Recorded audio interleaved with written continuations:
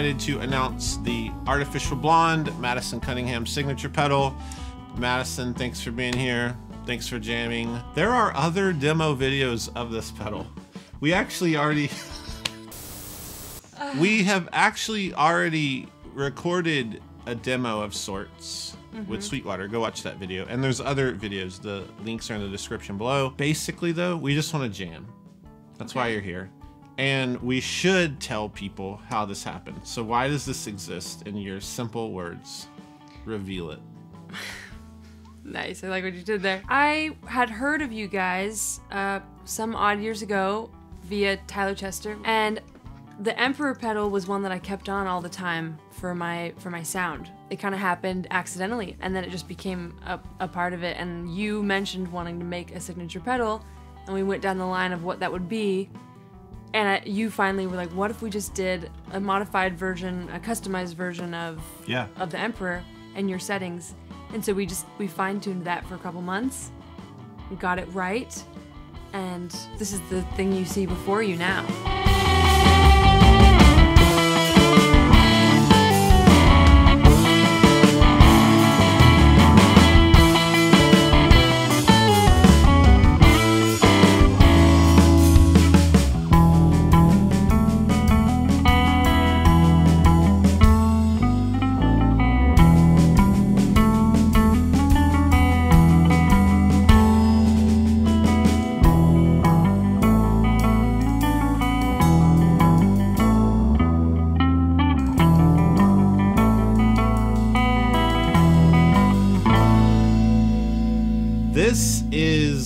Prototype that I think you toured with for a year, not quite a, A whole year. year. I love this knob that's bent and broken off. Thank you, TSA.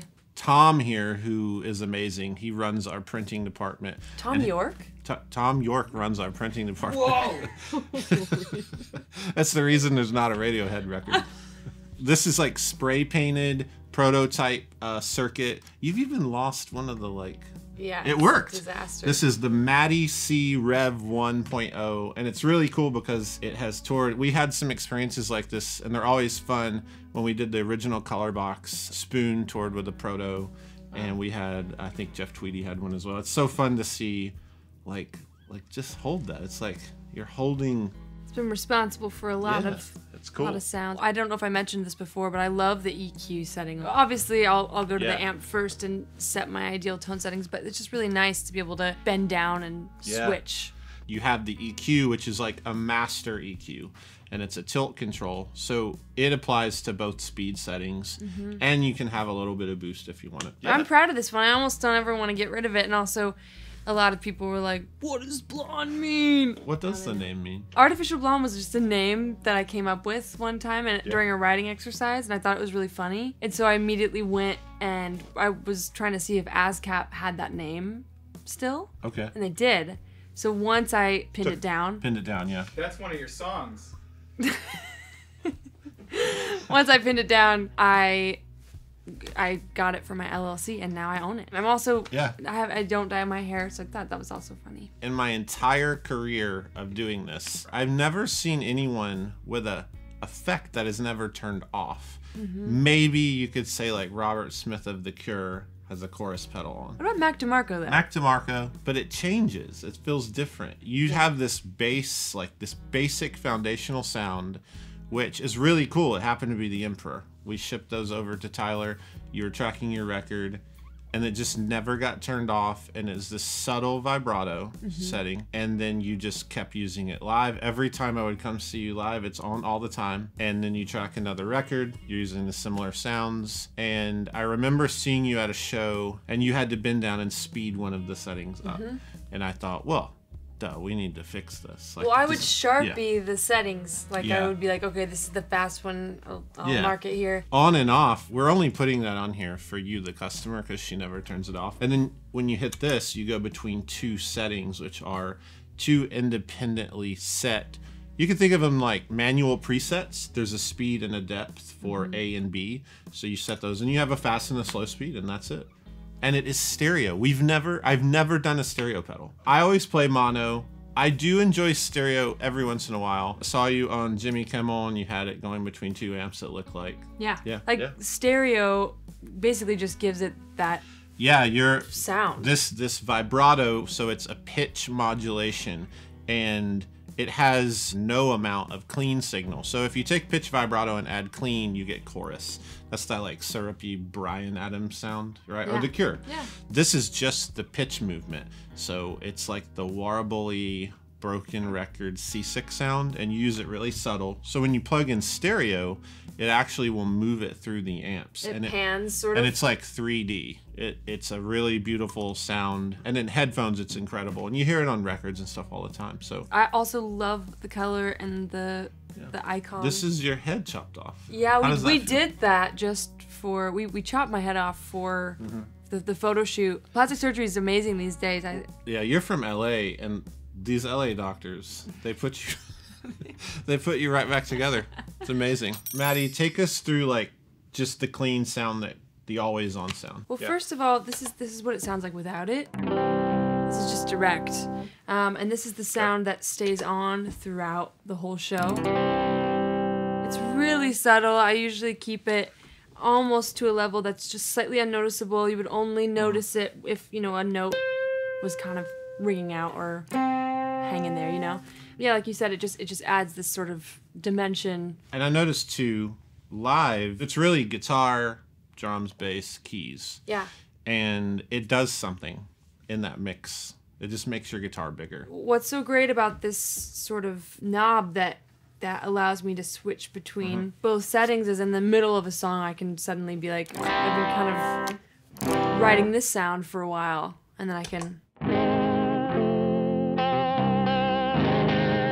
almost Leslie like. I usually actually to be honest with you, I'll have the speed. The I'd prefer you be honest.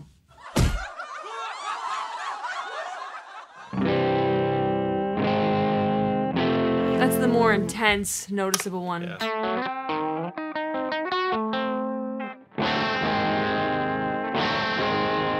What's one of your riffs from one of your songs that uses the faster speed? the the best example I can think of is like I'm kind of riding along on this thing. This is actually an unreleased song. Oh, you saw it here first. And then when it gets to the bridge, I change it to this thing. You know what I mean? It just immediately cool. gives it this like, oh, now we've switched scenes kind of. Let's jam on the faster setting and get Nick back over here. Nick, where are you at, bro? I'm right here. I'm right here. Okay, come do your job. Okay. You don't have to say it like that. Just come sit down. Oh, fine. Obey. Come on, Nick. Come, sit down. Sit, sit. I'm wearing a different shirt. Hey, this is um Madison Cunningham's shirt from her new tour. Check it out.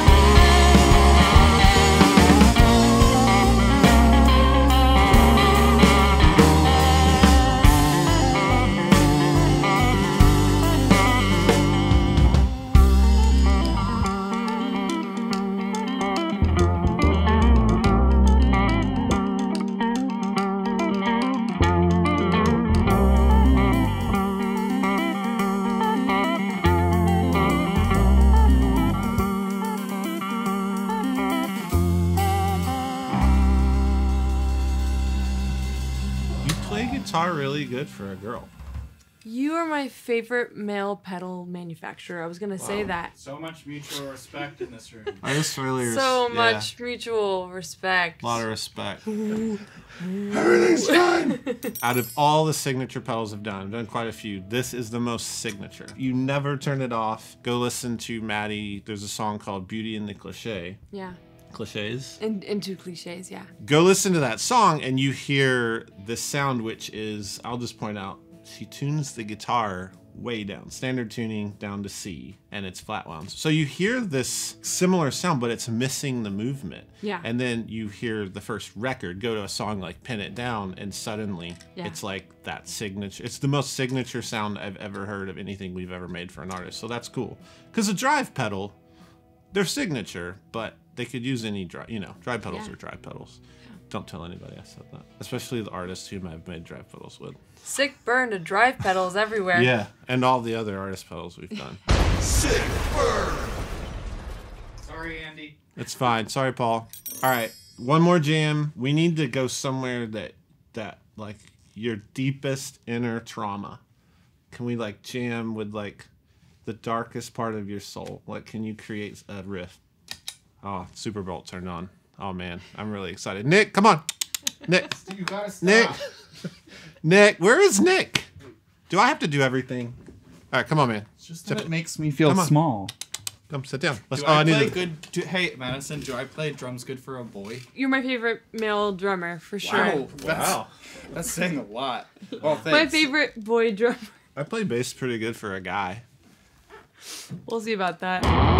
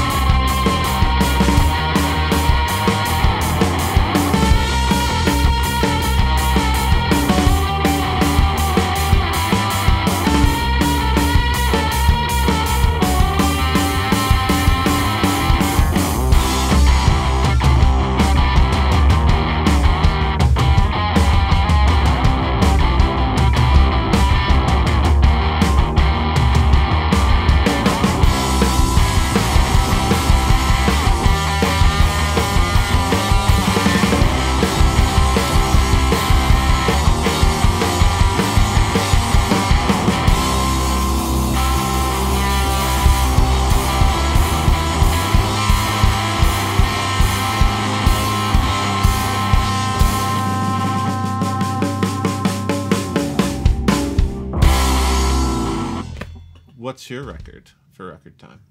This is called Illinoise by Sufjan Stevens. It actually might be called Come On Enfield, It's Illinoise. It's really good. It is so good, and I love all 23 songs.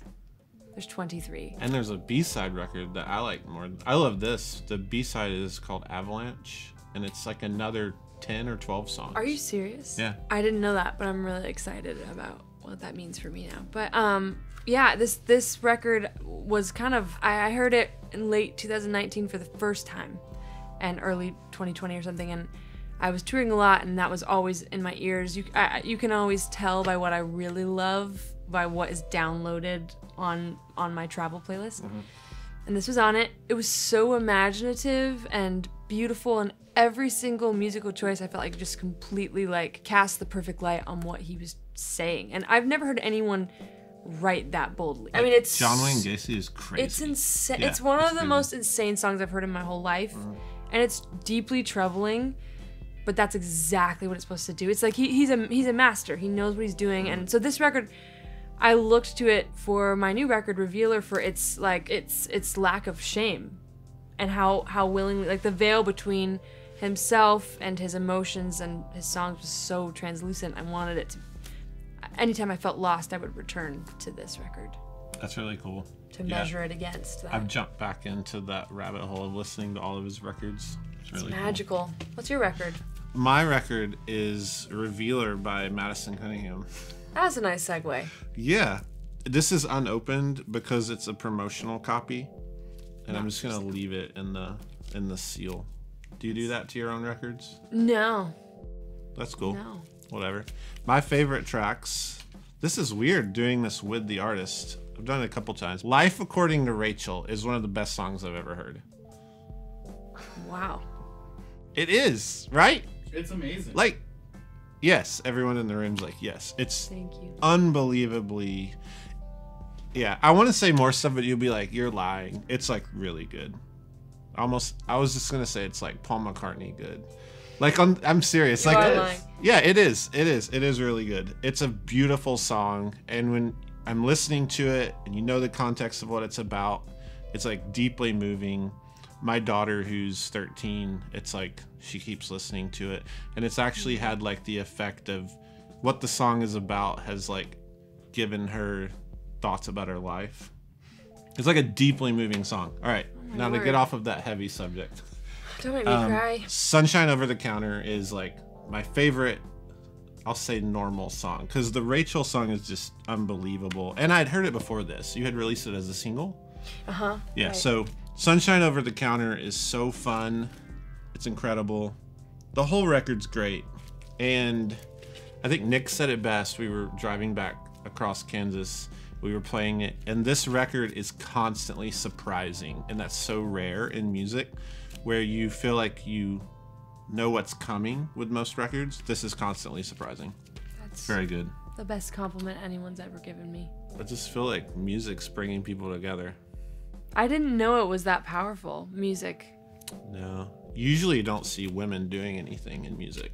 Yeah, it's it is uh Yeah. it's embarrassing. Especially with to see them guitar. do it. I haven't seen a like a female play guitar well ever. Sometimes friends make jokes with each other, and we're all friends here.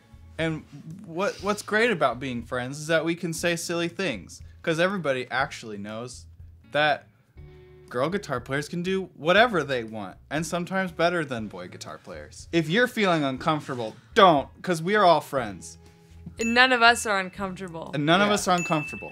We're we're just making funnies about that subject that frustrates us all. Don't Right? Yeah. Yeah. Because it's actually y- the people who are watching. It's actually your guys' fault. Yeah. Because at the end of the day, when you think about it, when you think about it, we got a lot of comments about how it's like girls can't play guitar, whatever, and it's like that's that's dumb. Because you had a mom, and she birthed you, and if ladies can birth babies, they can shred guitar, and so you need to go call your mom and tell her you're sorry for being a real turd. Whew, is this gonna make it in the episode? Ha.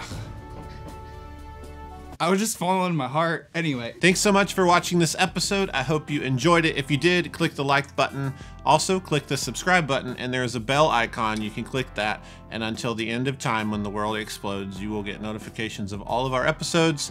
Go check out the Artificial Blonde. I'm very, very proud of it. It's a very special and um, unique pedal. I think you'll really enjoy it. There's all kinds of things you can do with it, and there are other demos. You should check those out as well. We'll link those in the description that's it. Have a wonderful day. Check out Madison's music on Spotify, Apple, Vinyl, Radio, Satellite, uh, Sirius XM, uh, Napster, LimeWire, Music, Music, Indigo. What's that? What's it called? Uh, SoundCloud. really good. SoundClouds, um, uh, AOL music player and uh, TV. TV. She's on. T- she has been on TV, and there's also you could listen to Madison's music, um, like at a red light with someone else playing it, like through their car. Like you could pick up on it. So if, if you hear that, just listen to her music that way. Um, I feel like I'm missing like a way to listen to music. In the comments, let me know what I could listen to Madison's music on that I didn't think of. It's the longest outro in the history of the show. Bye. Have a great life.